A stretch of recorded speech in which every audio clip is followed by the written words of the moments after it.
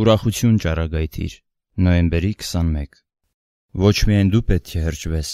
այլև քո ուրախությունը հայտնի պիտի լինի ուրիշներին, հայտնի բոլոր մարդկանց։ Չպետք է վառվող ճրագը դնել կաթսայի տակ, այլ աշտանակի վրա, որ เป զի նա լույս տա բոլորին, որ տան մեջ են։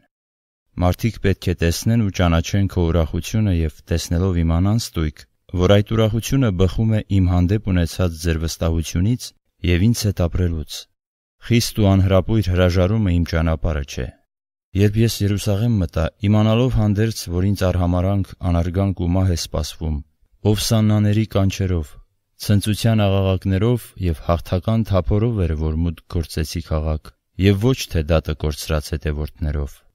Տրտմության կամ ցավի երանգ չկար բոլորովին, Վերջին ընթրիքի ժամանակ իմ աշակերտներին ասած խոսքի մեջ։ Մենք Սաղմոս երգեցինք ու Ձիթենյաց լեռը բարձրացանք։ Վստահ եղիր, ուրախացիր եւ հաղթիր։ Սերը գեղեցկացնում է ճամփան։ Սերը թշնամու պոչից դուրս է հանում դառնաղետ թույնը։ Սեր, մեծ սեր ունեցիր իմ հանդեպ։ Սերը ըստ էության այլ բան չէ, քան գիտակցումը իմ ներկայության եւ իմ հոր ներկայության, քանի որ երկուսս մեկ ենք։ Աստված սեր է։